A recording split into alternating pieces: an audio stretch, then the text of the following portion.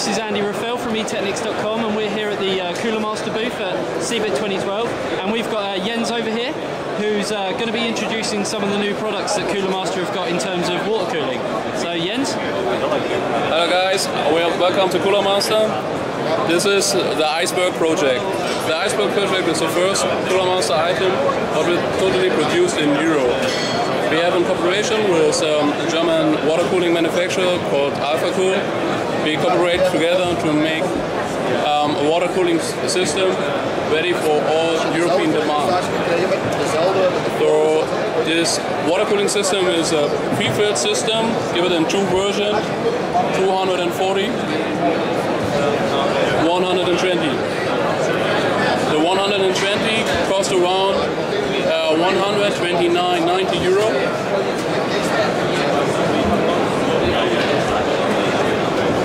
The 240 will cost around 139 euro. So only 10 euro difference. So we give directly the price from the radiator to the uh, uh, to the end users. We don't want to earn margin. We were saying these look very different to what some of your competitors have got on the market, and this looks a little bit more of a, a custom, more professional design. Yes, this is our, our mission, what we want to do. We don't want to have a fixed loop, you know, what you cannot update it, what you cannot not, not use as you want. We want that we are very flexible. We make we make a water cooling system what is totally flexible, what you can upgrade it, upgrade it as you want, and uh, use the newest uh, technology in the water cooling business. We have inside microchannel water block. We have inside the jet plate. We have inside a pump, a German pump. So we use the, the the newest technology in the water cooling business.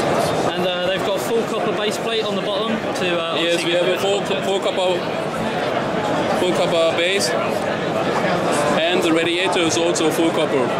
So the total system is based totally on copper, and inside um, the, cool, the coolant is uh, water and 5% alcohol. So we don't need to, to, to put so much chemical inside because we have a really clean loop. You know, everything is copper. And they fit all of the uh, current AMD and Intel sockets as well, yeah?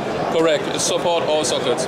Okay, so that includes the new so the newest socket 2011, but also support Ivy Bridge on uh, 1155 as well. Yes, indeed. We make we make beta testing on the uh, 2011 and find out that um, the the Iceberg 240 have around 12 degree better performance than uh, the competitors. Okay, and uh, this isn't the final design at the moment, is it? So things could change. It is not the final design. That's what you see here is, um, is um, a mock-up. We're working with um, with water cooling expert together. They're doing um, beta testing for us. Give us succession, what we need to change.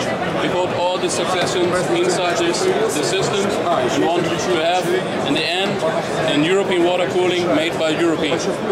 Okay, and when are we looking at a release date for these? If everything goes as it should? When everything goes like it should, should be the release date and end of April.